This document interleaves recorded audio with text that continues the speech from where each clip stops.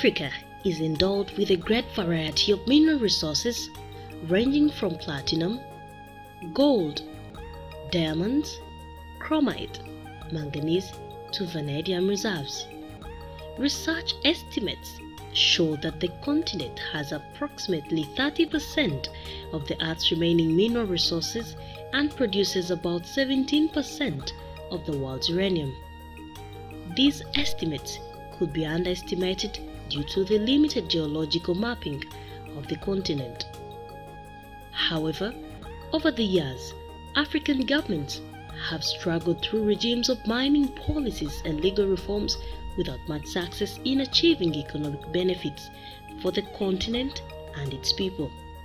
The only tool to help citizens exercise their right to participate in any development projects that affect them is the right to give or withhold consent to any extractive industry projects. Communities have a right to withhold their consent even before commencement of any mining project. And consent is not just the most important thing, the most important is how that consent is obtained. The African Union heads of state adopted the African Mining Vision in February 2009 as a vision for transforming Africa's mining sector. This was based on the realization that African countries, decades after the end of colonialism, continue to export most minerals in their raw form and this undermines the sector's potential to fundamentally transform local economies and contribute to sustainable development. The African Mining Vision talks about a transparent, equitable, and optimal exploitation of mineral resources to underpin broad-based sustainable growth and socio-economic development. The African Mining Vision calls on all African Union member states to transform mineral governance by ensuring that mining and related legislation address the loopholes that prevent Africa from benefiting from its rich mineral endowment.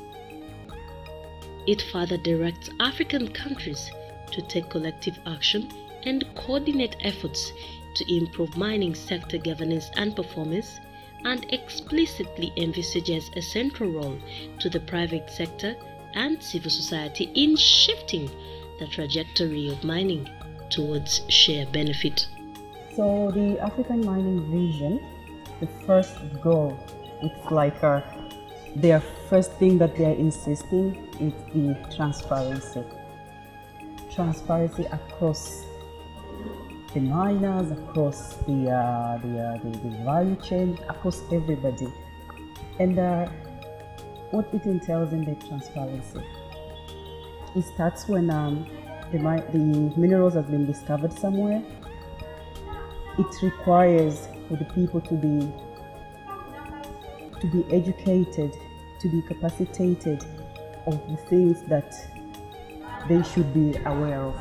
Say, these people they need to know the impact, if it's positive or negative, now and the years after, after the minerals has been finished from their, their community. The sector still faces major challenges including lack of or limited transparency and accountability, governance and public participation, the environmental, economic, social and health impacts of its operation, its failure to add value and its failure to provide benefits relating to research, development and technological information.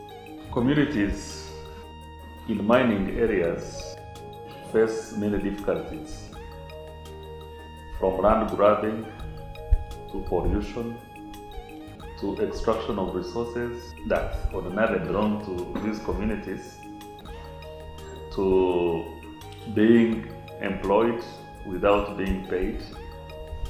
Many of them work without contracts, among many challenges. In short, in many communities where we work, companies or investors bring poverty and take away wealth. okusomesa kwenfunyemu oluto yasooka nga oluto yasooka. Ah, twagobwa. Mu kugoba okwo ebinnya twali tujjamu akasente. Ah, ne bajja ne babiziika abasirikale ne bajja ne batukuba kibooko bintu ne tubisuulawo ne tukola ki? Ne tuvaayo. With support from the Open Society Initiative for Eastern Africa and Natural Resources Alliance of Kenya, Africa Freedom of Information Center, in collaboration with Kick Corruption Out of Uganda, World Voices Uganda, and the Tanzanian based Haki Madini, are implementing a project aimed at popularizing the African mining vision and the East Africa Community Mining Bill 2017 among the mining communities in Uganda. we were everywhere. We didn't know anything called laws. We didn't. We didn't have. We didn't know anything called uh, policies. We didn't know anything called frameworks. We were just mining the way we could be used. We used to use rudimentary uh, practices. We, you know, there was a lot. We didn't. We didn't mind about the uh, environment practices. We pollution of air, pollution of water, Africa Freedom of Information Center has embarked on sensitizing artisanal gold miners on issues regarding their rights and further giving them an opportunity to express their concerns. kirungi nnyo omuntu okumanya rights zo kusinziira ku nkola gye tulimu ey'okuyikula ebyobugagga eby'omu ttaka kubanga enkola luli gye tubadde tuyimiriddemu eyokusima ebyobugagga by'omu ttaka bangi tebamanyi uh, rights zaabwe ku byobugagga by'omu ttaka kyembadde simanyi nti omuntu eri etteeka erimulagira erimulagira okuba nti akkiriza abantu okukozesa oluguudo kuba mu mbeera ebaddewo olayinza n'okugaana okuyita mu ttaka lye. So nga ate ekiri emabega w'ettaka lye kya mugaso nnyo eri abantu as a community.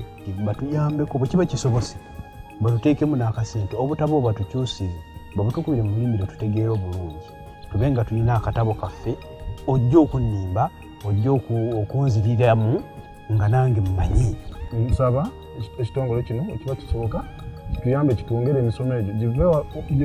ku bantu abatono ku- byalo abantu information tugifunye The right of access to information is a fundamental human right recognized by key international instruments.